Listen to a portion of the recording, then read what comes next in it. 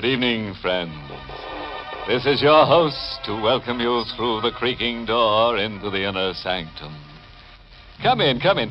You mustn't mind that covered body over there in the corner. That's Oscar, our bashful corpse. You see, we covered him up because Oscar said he didn't want to be seen dead in here. and those folks sitting on the coffins just came in to rest their bones. Sort of a skeleton crew, you know. Oh, we're having a big party here tonight, but if you don't see any smiles, just remember all the people here are grave characters.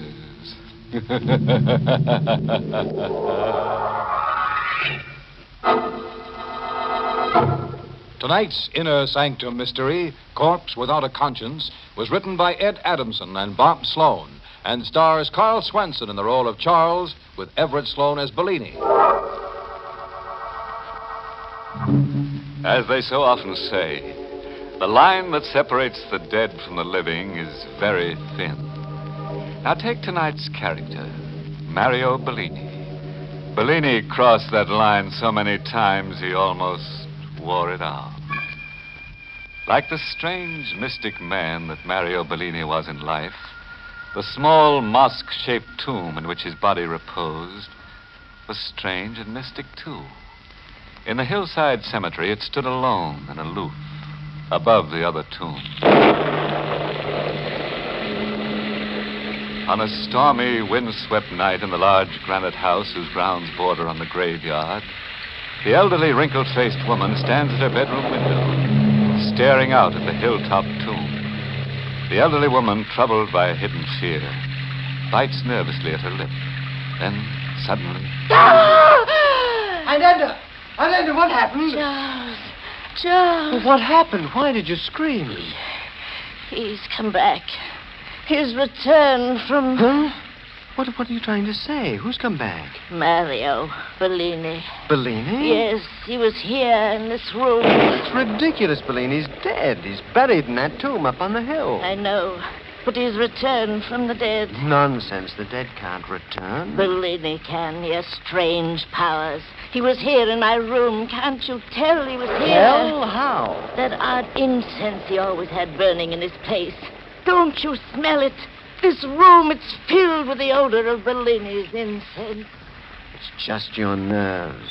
There's no odor of incense in this room. What? Not a trace of it.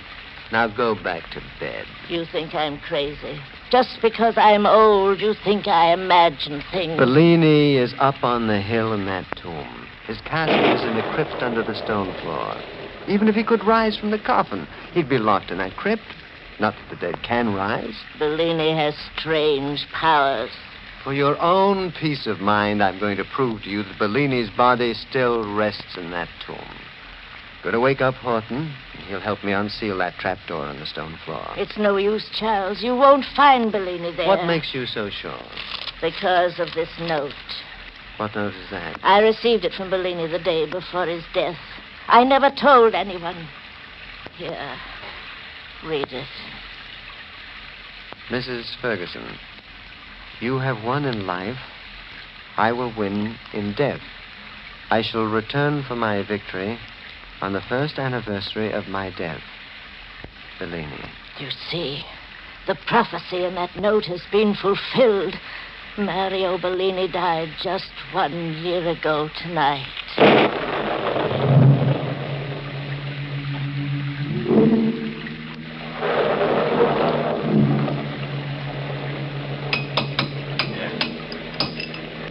Charles, please, I want to go back to the house. After I show you what's below the floor of this tomb. It's pure witchcraft, Mrs. Ferguson, coming to life after being dead for a year. My aunt is upset enough, Horton, without your comments. I'm sorry, Mr. Ferguson. Just keep working on that concrete. Uh, yes, sir.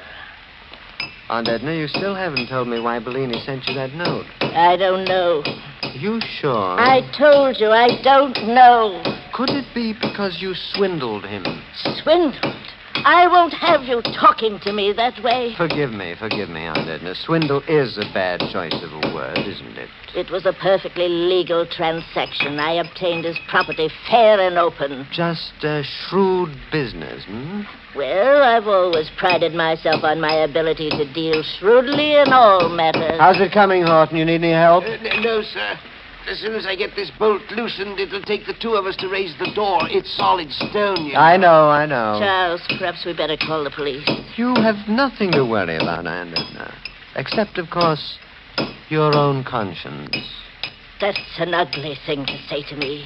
I've given you everything you ever wanted, haven't I? Yes, you have, Aunt Edna. And I've often wondered why. Uh, there. It's off. Boat's free, Mr. Ferguson. I think we can raise the door now. All right, Horton, take hold of the ring. Yes, sir. Let's pull together. All right. Uh, come on. It's beginning to lift, sir. That's it. Uh, keep pulling. Uh, keep pulling. It's open. Uh, What, what do we do now, sir? Mrs. Ferguson, you and I are going down there into the crypt. Oh, please, sir. Mr. Bellini always frightened me when he was alive. I'd rather Don't not. be a fool, Horton. The dead can do no harm. But Mrs. Ferguson said he came out to this crypt Never mind what Mrs. Ferguson said. You are doing as I say. Y- Yes, sir. Ready, Aunt Edna? Yes, Charles. If you insist. I'll but- take the lantern, Horton. Uh, here you are, sir. All right. Now, you two follow me down. Uh, watch out for your head, Mrs. Ferguson. The ceiling's low. Please, Charles, hurry. Moving as fast as I can. Got to find the catch on the side of the casket. Ah, here it is. Now, pull back the panel, Horton. Yes, sir. Is. Is he there, Charles? Of course he is there. Exactly as I said he would be. Hermetically sealed under glass. No. No sign of life, is there? No, no sign of life. Don't be afraid to look. But I. Go ahead. Look, look, look, look. See for yourself. See how safe you are from the unrising, dead Mario Bellini. Oh, thank heaven. He's there. And dead.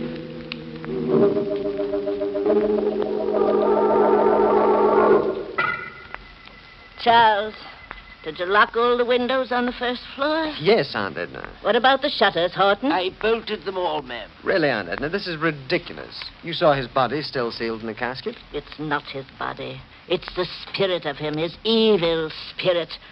I know he'll try to kill me, but I'll fool him. I'll live through this night. Why, of course you will. I, um, I was just thinking of what the doctor said about your heart, about overexciting yourself. Never mind my heart.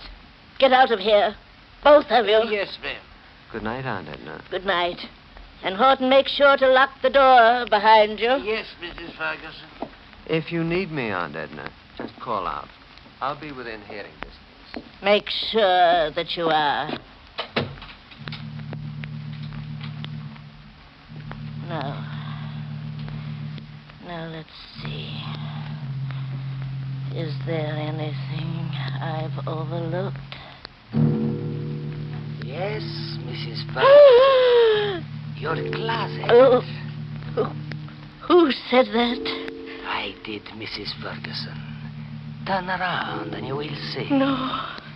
Oh, no, it, it can't be. But it is. It's Mario Bellini. No, no, no. It's just in my mind. You're not really here at all. It's just my mind.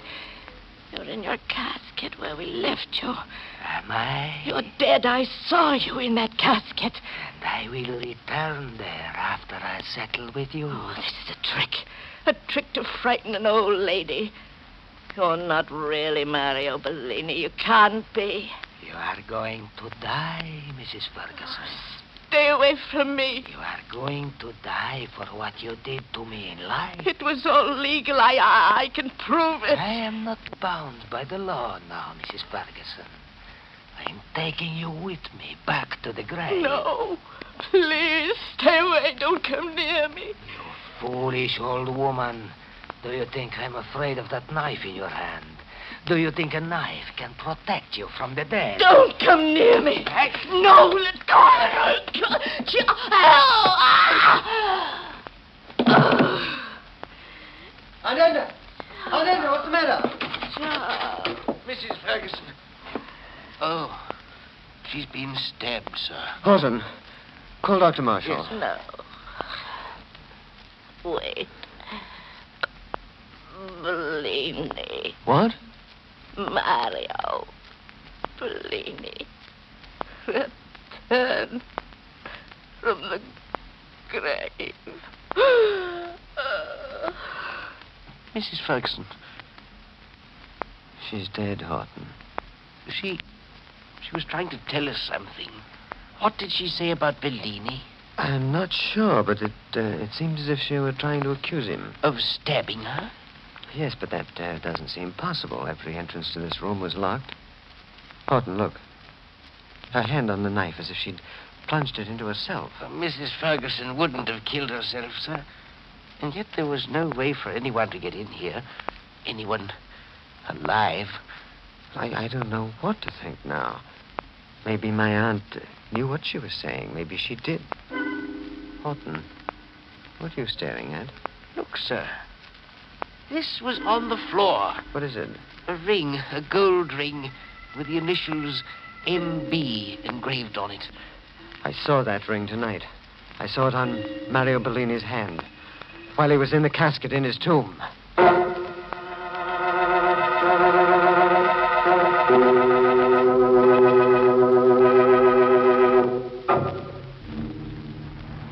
Everything's just as we left it, sir. The stone trapdoor still open.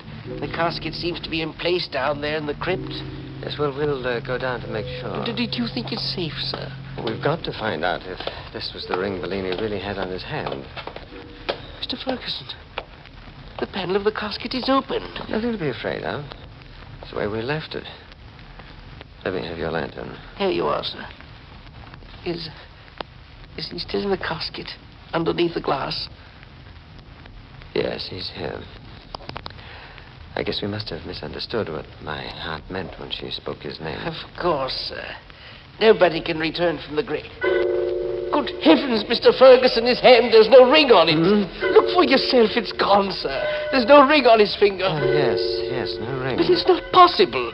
Are you sure you saw the ring on the corpse? Couldn't you be mistaken? I sir? guess I could be, but, well, I guess I must be because No, I... no, no, no, you were right. Mrs. Ferguson was right, too. Mario Bellini did return from the dead to kill her. Horton, what are you talking about? Look, look at the other hand. It's stained with blood, sir. I can't understand it. I can't understand how blood could be on his hand unless it was there when he was put into the casket. But it's fresh blood, sir. We must call the police immediately. Yes, I, I guess we'd better. We'll go just as soon as I pull the panel back over the top of the coffin. We'd better leave everything the way it is and, and hurry out of here. It may be dangerous for us to stay a moment longer. No, all right. Mr. Ferguson, Hmm? What is it? I, I, I thought I heard something stirring down there. Where? In the casket, sir. Listen. It's your imagination, Horton. No, there is something moving in that casket. Quick, let's get out of No, here. No, no, no, wait. The glass, the casket. Bellini's getting up from his coffin. Get out of your mind. He's there, standing up in the casket, sir. Wait, where are you going? For the police. Come back, you fool! No, sir. You, Mr. Fergus. I had no choice, Horton. It was your life or mine. You. Uh, That was a foolish thing, Charles. Isn't one murder enough for tonight? What did you want me to do, Mario? Let him go to the police and have them find out that you're still alive? What difference does it make? They'll probably find out about me anyhow. It's a good chance they'd have after the way you botched everything tonight. Why didn't you do what you were told instead of killing my aunt with a knife? The knife wasn't my idea. I had to kill her or she would have killed me. I wish she had. Would have fitted my plans better. You and your plans, making out a false certificate of my death, burying an empty casket, and hiding me away for a year, all so I could scare your aunt to death. Ah, what a plan. It would have worked if you had followed orders. I did as you ordered, but it did not work. The shock of seeing me wasn't enough for her. Her heart was a lot stronger than you thought it was. Well, then why didn't you leave? Instead of stabbing her? Why? Because it was such a wonderful opportunity. I waited over a year for tonight. I waited long enough for my revenge. So now you may have to pay for your revenge. Then I will pay for it. It will be well worth the price. Well, not to me, it won't. I wanted her out of the way to inherit a fortune, not to go to the chair for it. That is your problem. After all, Charles, I am officially dead, you know. Shut up, will you? Horton could have been my alibi. If you hadn't gotten blood on your hands and made him suspicious. Then why did you bring him back here? You know something had gone wrong. We found your ring. I had to prove that you were still in your grave, didn't I? All right. What are we going to do with his body?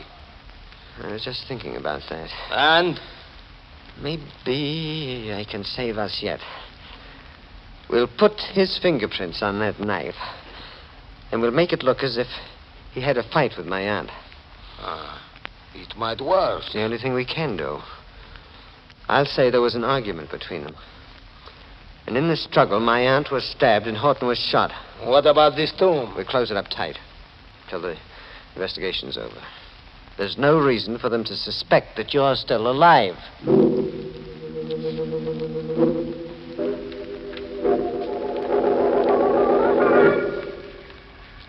Yes, Lieutenant, the bodies were just where you found them. Uh, you didn't touch a thing, Mr. Ferguson. No, not a thing. My aunt was there on the floor near the bed, and Horton was only a few feet away. Uh, tell me, Mr. Ferguson, where were you when you heard the first shot fired? Downstairs in the library. Mm-hmm. And you couldn't hear anything of the argument that went before it? Didn't hear a thing. That's why I'm not sure they were arguing. Uh, all right. Well, I won't take up any more of your time tonight. Uh, I'll be back in the morning. Oh, very well, Lieutenant. Uh, uh, by the way, this window here faces the hillside cemetery, doesn't it? Yes. Uh, did you happen to notice anything strange going on out there about the time your aunt was killed? No. I told you I was in the library. Oh, well, yeah, so you did. Uh, why do you uh, happen to mention the cemetery, Lieutenant? Oh, it probably has nothing to do with this case, but I had a call about an hour ago from a woman who said she saw a light out there. A light? Yeah, yeah. Oh. Probably just a crank call. The woman insisted she saw two men coming out of a tomb, the one on the top of the hill shaped like a mosque. Tomb they buried that queer duck in. His name was uh, Mario uh, Bellini. Mario Bellini. Oh, yes. I guess I'll have to investigate it sometime tomorrow after I make my report on this case. It's the trouble with being a cop. You get a hundred crazy calls like that a year. No, they're bum steers, but you got to see 'em through anyway. Yes. It must be quite a nuisance. Yeah, sure is. Well, good night, Mr. Ferguson. Good night, Inspector. Charles. Charles. What do you want, Mario? Is it all right to come in now? Give him a chance to get out of the house. He won't come back anymore. All right, all right. Come in. I heard what he said, Charles. Well, what about it? If the lieutenant goes to that tomb tomorrow, there will be trouble. Why do you say that? Are you crazy? That stone door to the crypt is chipped. The bolt has been broken. And there may be blood stains on the floor. Well, what if there are? There's no connection between me and Mario Bellini. Isn't there? What about the false death certificate? Don't you think they can eventually trace that back to you? Oh, I don't know. Well, I'm not going to wait to find out. I'm taking the first train out of here, and you had better do the same. Run away? What good would it do me without the inheritance? Where can I go? How can I live? That is your problem, not mine. I am dead, remember? No matter what happens now, I will be in the clear. Oh, that's right. If you go, you'll be in the clear. And if you stay, then I'll be in the clear. What do you mean? There's only one flaw in my story, Mario the false death certificate. But uh, that uh, certificate doesn't have to be false. What? It doesn't really have to be false at all. If you're dead when they open that casket tomorrow, then my hands will be clean. Charles. Yes, that's the only way out. No, Charles, stay where you no, are. I can't let you live. You've got to die. No, Charles, wait. No, I've you've got to die, Bellini. I can live. Killing you is the only solution.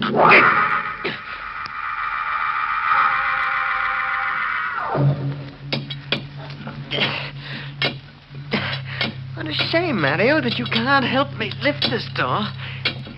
Even with an iron lever, it's too much for one man to open all the way. Ah, ah now it's coming.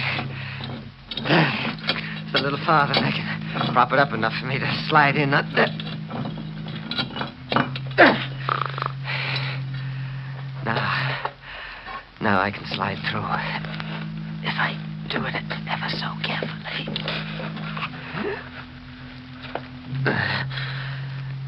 Now, it's your turn, Bellini. I just pull you through the opening.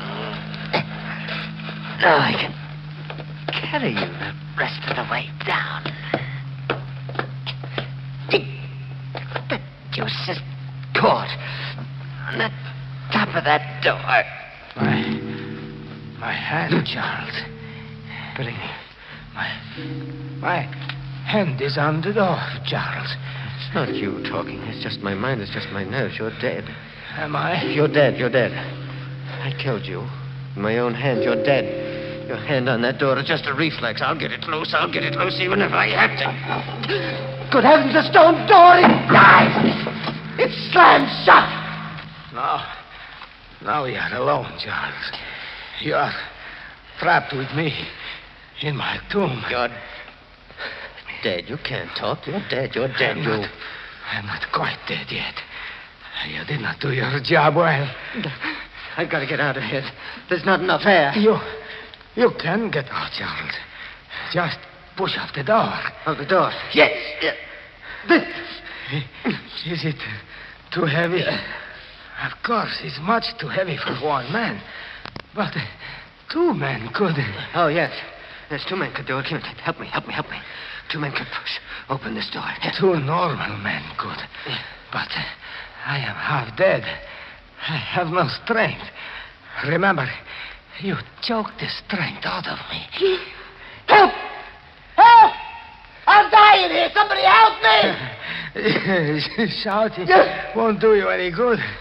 No one can hear you through the stone. Oh, but You will have to stay here with me until they find your body. No, I can't. I won't. I don't want to die. Oh, don't be such a coward, Charles. Death is not so bad. You will see. and after all, we do have an elegant tomb in which to rest in peace.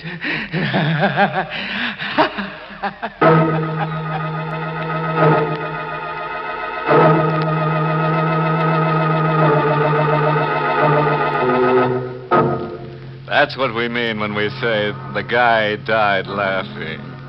No sense of humor, that Mario Bellini. Just couldn't take a choke. oh, well, I'll have to get along. Now, Bellini and I have a date with a couple of ghoulish girls. We're going out tonight to paint the town black. Oh, you didn't know that Bellini and I were pals?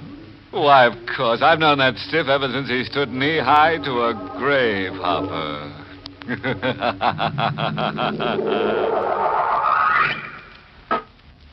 Good night.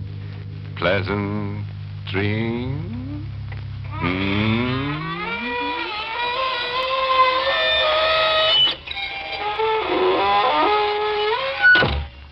Inner Sanctum was heard in the United States over CBS, the Columbia Broadcasting System, and has been rebroadcast for servicemen and women overseas.